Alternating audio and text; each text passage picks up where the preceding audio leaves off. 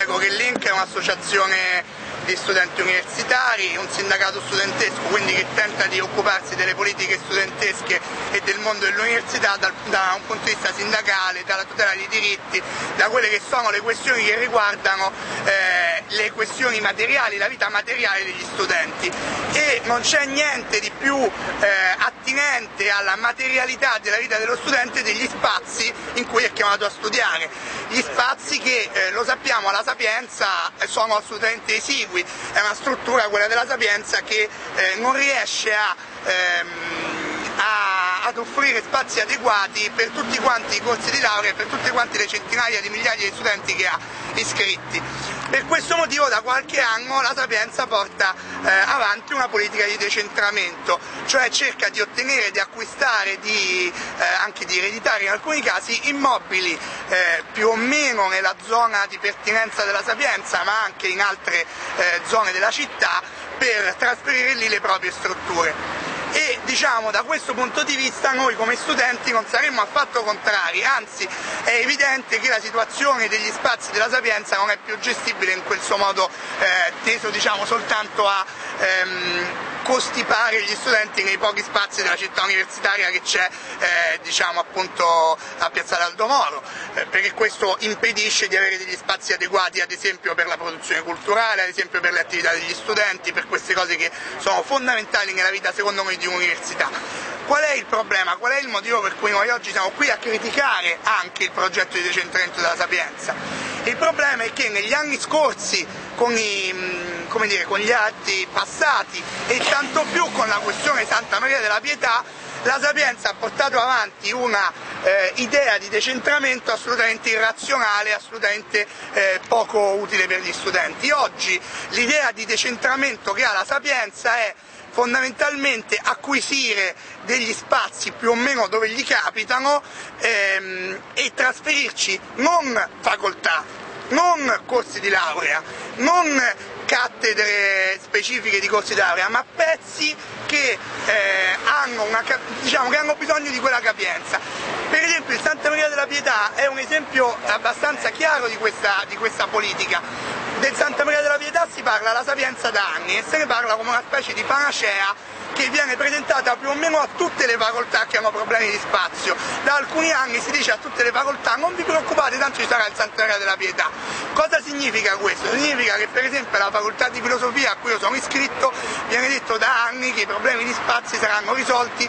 distaccando il corso di laurea di eh, scienze della formazione che è all'interno della facoltà per trasferirlo al Santa Maria della Pietà. Poi si dice anche però eh, a biologia per esempio che alcune parti del corso di laurea di biologia saranno trasferite al Santa Maria della Pietà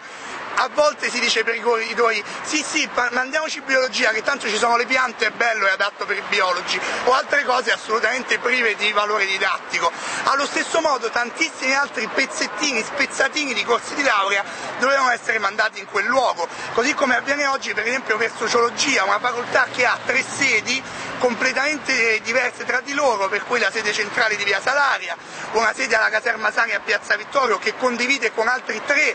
corsi di laurea di altre tre facoltà diverse e poi uno spazio che mh, forse stanno riuscendo a, a, lasciare sulla Prenestina, è un ex cinema, uno spazio assolutamente inadatto per la facoltà e in cui appunto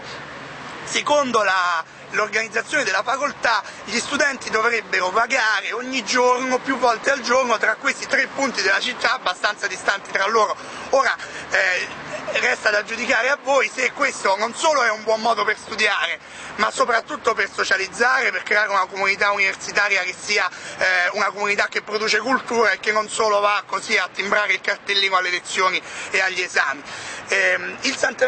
Maria della Pietà, dicevo, rientra esattamente in questa logica, secondo noi sbagliata e irrazionale, e, e tanto più perché l'idea è quella di fare lì appunto un fantomatico campus, eh, un campus che eh, è ingestibile dal punto di vista di come funzionano oggi le, eh, le, norme sul diritto allo studio, perché le residenze universitarie, e noi diciamo per fortuna, non sono assegnate sulla base della vicinanza della residenza al corso di laurea, altrimenti questo potrebbe voler significare che ehm, se uno va a studiare al Santa Maria della Pietà e ha un reddito alto, detto ma al Santa Maria della Pietà ci sono molti posti per dormire può aver assegnato una casa dello studente a fronte di studenti che studiano in altre facoltà che non hanno una casa dello studente vicina e che eh, hanno un reddito molto più basso e quindi avrebbero diritto alla casa dello studente. Un campus è qualcosa di ipotizzabile eh, in un'organizzazione universitaria che dà un diritto allo studio talmente ampio, con servizi talmente grandi che si può permettere di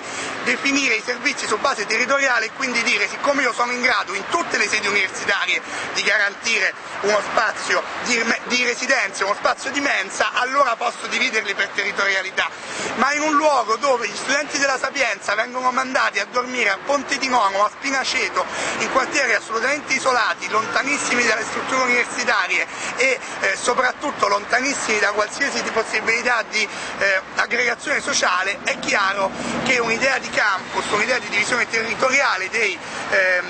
delle case dello studente è impossibile. In più eh, diciamo, noi chiediamo che piuttosto che immaginare fantomatiche strutture di questo tipo si metta mano alle strutture fatiscenti delle case dello studente che ci sono e all'idea appunto assurda che si possano concentrare residenze universitarie in posti che gli studenti non vivono in cui dovrebbero andare come in dei dormitori semplicemente per, eh, per andare a dormire e che peraltro non sono collegate minimamente con le strutture universitarie e mi riferisco appunto soprattutto alle residenze di Ponte di None e di Spinaceto.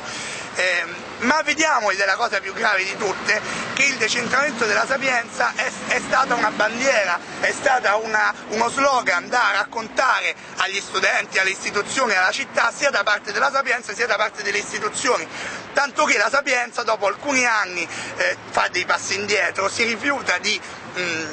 di andare in quelle zone, in quegli stabili e si rifiuta sicuramente non come hanno fatto pensare i giornali per colpa dell'ex lavanderia che è proprio l'unico soggetto che sta sul Santa Maria della Pietà che non c'entra nulla con questa situazione e che anzi soprattutto è l'unico soggetto che non ha niente da guadagnare dall'assegnazione di un certo tipo o di un altro tipo del Santa Maria della Pietà se non l'idea eh, che il Santa Maria della Pietà venga utilizzato per un uso pubblico, sociale e culturale,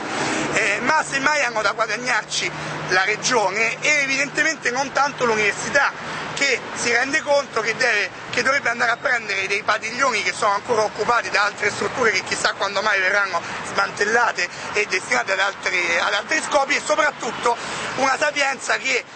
aveva l'interesse non solo ad acquisire il Santa Maria della Pietà ma ad acquisire altre aree che servirebbero al suo sviluppo che la Regione gli aveva promesso e, e sulla quale evidentemente si sta tirando indietro. Mi riferisco soprattutto allo spazio accanto all'ospedale Sant'Andrea che è un ospedale universitario che straborda di studenti che non sanno dove mettere e che, a cui doveva essere assegnato uno spazio per costruire una struttura universitaria, uno spazio che invece non gli viene assegnato e sicuramente lo stesso rettore Frati l'ha l'ha detto, questa non assegnazione è uno dei moventi della scelta di non andare nemmeno al Santuario della Pietà. Quindi diciamo, questo lo, lo dico per provare a delineare qual è la situazione degli investimenti della Sapienza sulla città una università che è evidente che ha la necessità di eh, capillarizzarsi nella città, ma che secondo noi lo deve fare in un modo molto più razionale, permettendo agli studenti di spostarsi l'intera facoltà di spostarsi in una zona diversa della città che può far vivere e può far sviluppare anche dal punto di vista dell'aggregazione eh, culturale, perché sappiamo che gli studenti portano l'aggregazione culturale, ma che diciamo un decentramento che deve essere portato avanti in un modo razionale e non volto semplicemente a parcheggiare da qualche parte gli studenti e poi chi se ne frega se devono farsi da una parte all'altra della città tutti i giorni per andare da una lezione all'altra.